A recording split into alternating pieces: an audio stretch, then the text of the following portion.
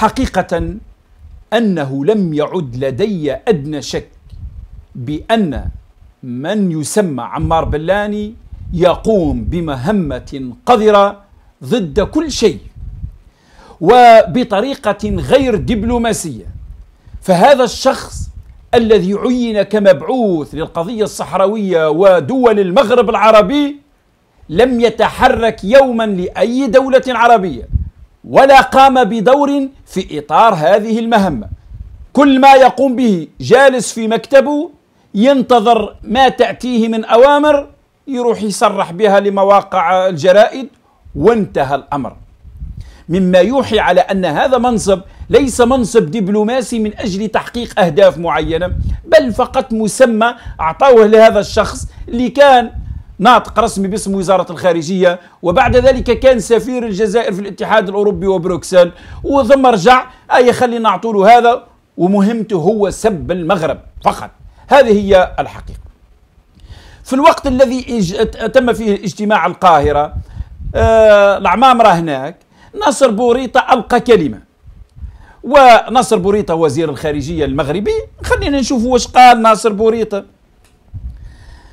ناصر بوريطة قال في كلمة أمام مجلس جامعة الدول العربية على المستوى الوزاري في دورته العادية ال 158 آه، يوم الثلاثاء بالقاهرة إن السياق الدولي والعربي يسائل القمة المقبلة لتنعقد على أساس الالتزام بالمسؤولية بعيدا عن أي حسابات ضيقة أو منطق متجاوز وتوطيد الثقة اللازمة والتقيد بالأدوار الخاصة بكل طرف.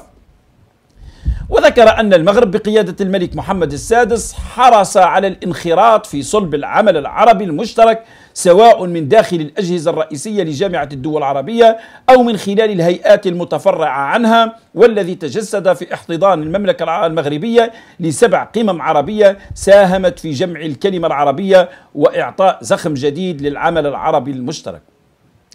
ومن جهة أخرى دعا بوريطة إلى قراءة موضوعية لواقع العالم العربي المشحون بشتى الخلافات والنزاعات البينية والمخططات الخارجية والداخلية الهادفة إلى التقسيم ودعم نزعات الانفصال وإشعال الصراعات الحدودية والعرقية والطائفية والقبلية واستنزاف المنطقة وتبديد ثرواتها.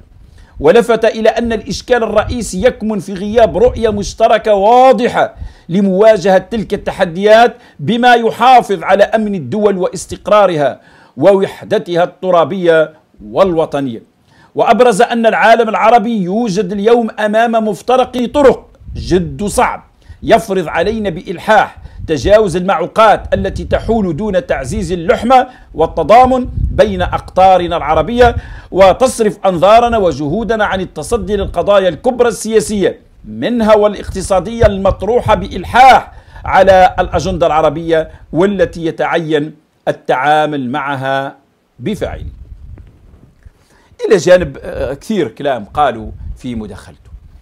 أنا حقيقة أرى بأن هذا الكلام لا غبار عليه. بغض النظر عن النوايا وما في قلب فلان وعلان هذا حطها لي جانبا. الكلام لا غبار عليه. المرحلة حساسة والمرحلة صعبة والتحديات كبيرة اقتصادية اجتماعية دولية تفرض التكاثف تفرض الوحدة تفرض أشياء كثيرة.